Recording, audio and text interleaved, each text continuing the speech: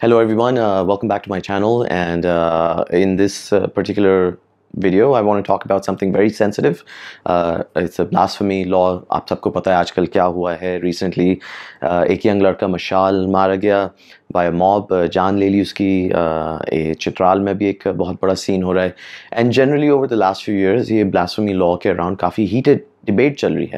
रही so what's what's happened? Um, why I'm making this video is uh, because मैं जब लोगों से इसकी uh, discussion कर रहा uh, something quite unique something hit me and it was this that the conversations we were having around it around this blasphemy law is mostly ہم لوگ بات کریں کہ اس موب کو کیسا روکا جائے مینٹیلٹی کیسے بدلیں government should issue the penalty for it that کے یو نو وہ دیکھیں اور پھر دیٹ اپلائی کریں as a punishment and in all this lost the real conversation جو ہم لوگ کو we should be having right وہ یہ ہے is the blasphemy law right a very ahem cheez hui jab Salman Taseer ko gaya tha.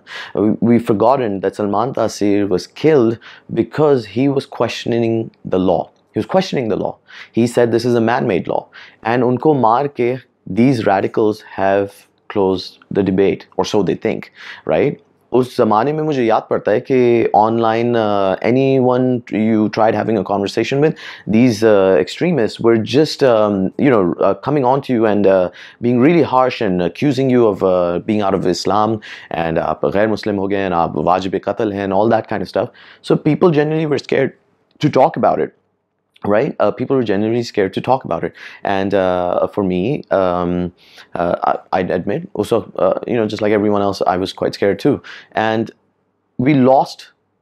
this conversation this debate there's this law right so jab main ab logon se there's this whole uh, assumption that this law is islamic and the truth is it's not uh, this is the blasphemy law is un-islamic and i'll tell you why let's look first at the most important thing that any Muslim looks, right? Um, whether you're a liberal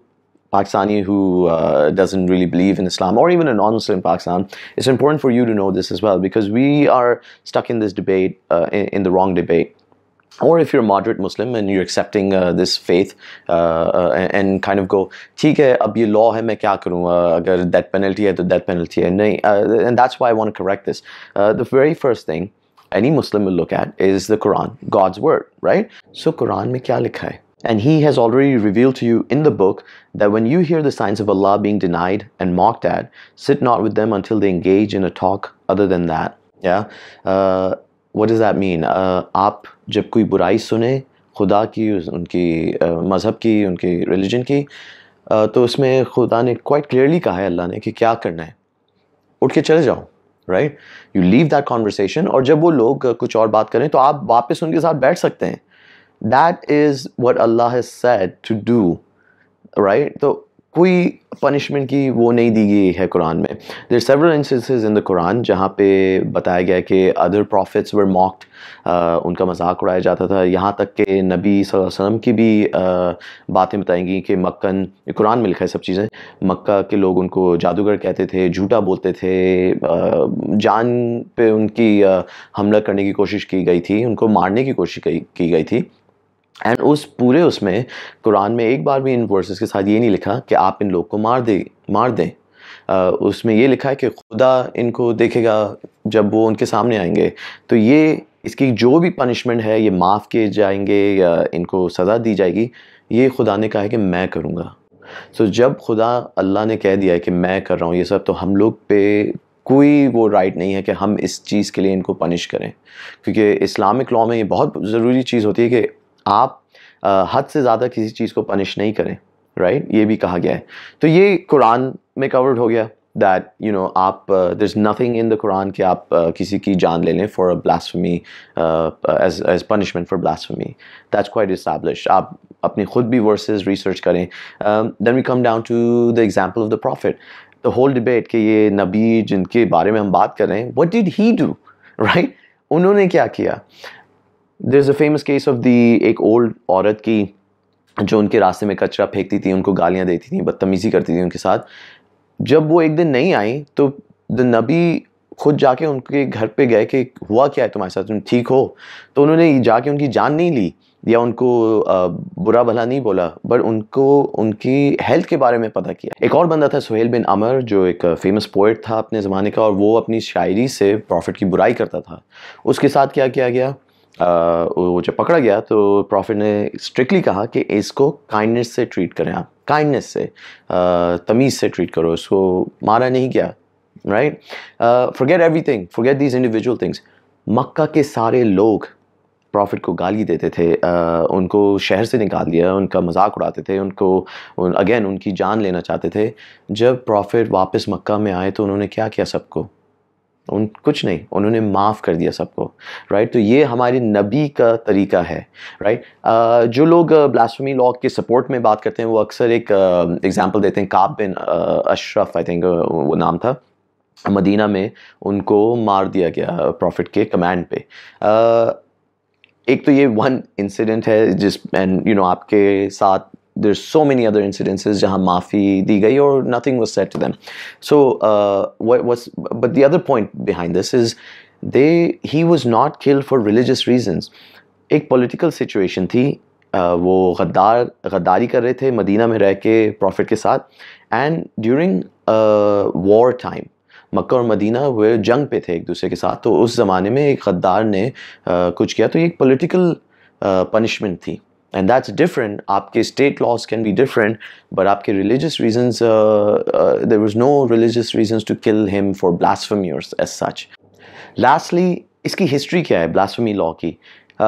اگر ہم historically دیکھیں تو یہ ایک Jewish and Christian scriptures کی interpretation سے آیا ہے into Islam so it's not even a real Islamic law which is why call it in Islamic ہم لوگ نے ایک affected some scholars that time medieval scholars to use power and stuff اپنے state کے لیے انہوں نے یہ یوز کیا ہے یہ اس کی ہسٹری ہے real scholars law scholar speak out against it most recently Pakistan میں یہ کیسے آ گیا is it was a British law جو اڈیپٹ کر دیا گیا پاکستانی پینو پینو کوڈ پہ اینڈ انفارچونیٹلی پھر ضیاء الحق نے اس پہ اور چیزیں ایڈ کر دیں تو this is how it came into us it's not an Islamic law it's against against Islam this whole law is against Islam so what do we do now what do we do you, I, as Pakistanis, as Muslims, as uh, human beings, we need to speak out against this because it's like I established, it's, a, it's not a law that belongs in Islam. So if we're good Muslims, we need to speak out against it. We need to end this uh, uh, weirdness. Because Allah's punishment will come on us if we try to act like God. یہ خدا کا as I said in some of the verses جو میں نے آپ کو بتایا یہ خدا کا مسئلہ ہے یہ خدا اس کی اپنی punishment دیں گے تو ہم لوگ खुदा बन के इस दुनिया पे इस इस सज़ा पे पनिशमेंट देना is is completely wrong in fact हो सकता है हम पे खुदा की सज़ा आ जाए because we're you know we're try to act like God and we're not stopping these people तो what do we do? We need to speak out. We need to raise our voices. We need to tell people. We need to fight back this debate that uh, this law is, uh, is an okay law. It's not. Um, and until then, uh, you know,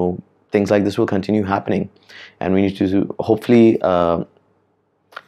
lastly i hope uh, you know if we really want to respect the prophet and our religion uh, then we need to remove these uh,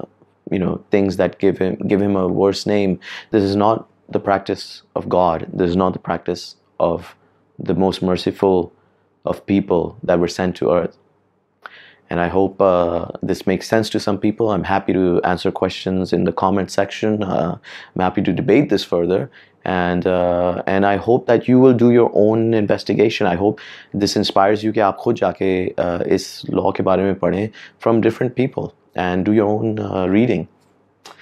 Thank you for watching. Till later.